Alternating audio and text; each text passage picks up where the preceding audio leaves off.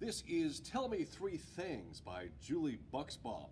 Jessie's mother died from cancer not too long ago, but out of the blue, Jessie's dad came back from a what was supposed to be a business trip to tell Jesse that he'd gotten married to a woman he'd just met online.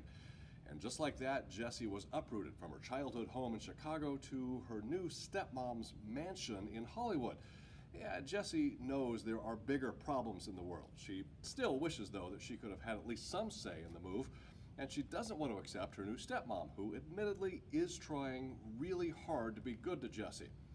Jessie struggles to fit in at her new school, but almost right away starts getting messages from a mysterious stranger named Somebody Nobody offering her advice.